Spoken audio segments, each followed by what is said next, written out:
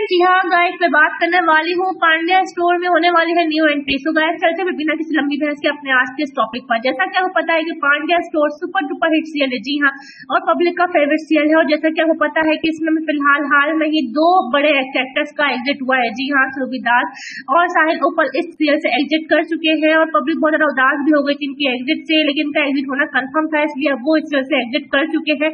और वो एपिसोड भी दिखा दिए गए हैं। लेकिन अब सुनने में आने वाला है कि होने वाली है न्यू एंट्रीज जी हाँ इसमें बहुत से एक्टर्स देखने को मिल रहे हैं और पब्लिक हर किरदार को बहुत पसंद भी कर रही है।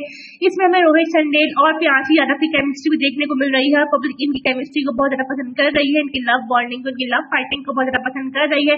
और अब सुनने में आ रहा है कि होने वाली है न्यू एंट्रीज जी हाँ न्यू एंट्रीज इसलिए कह रही हूँ कि दो न्यू एंट्रीज होने वाली है। वो है मोहसिन खान और शिवानगी जोशी। जी हाँ ये दोनों एक साथ काम कर चुके हैं इस तरह इकलाता में और पब्लिक ने इनको बहुत ज़्यादा पसंद किया था। कार्तिक और नारा की केमिस्ट्री को बहुत ज़्यादा पसंद किया था। और सुनने में आ रहा है कि पांड्या स्टोर में इन दोनों की एंट्री होने वाली है। यानी कि ये कपल हमें देखने को मिलने वाला है, लेकिन अब ये कपल हमें साहिल उपल और स्वामी दास के रिप्लेसमेंट में देखने को मिलने वाला है, या फिर कोई और एक्टर होगा इनका खैर अभी तक रिवील नहीं हुआ है, लेकिन ये दोनों सुनने में आ रहा है कि पांड्या स्टोर में इन दोनों की न्यू एंट्रीज होने वाली है। कब तक इन दोनों की न्यू एंट्रीज होंगी?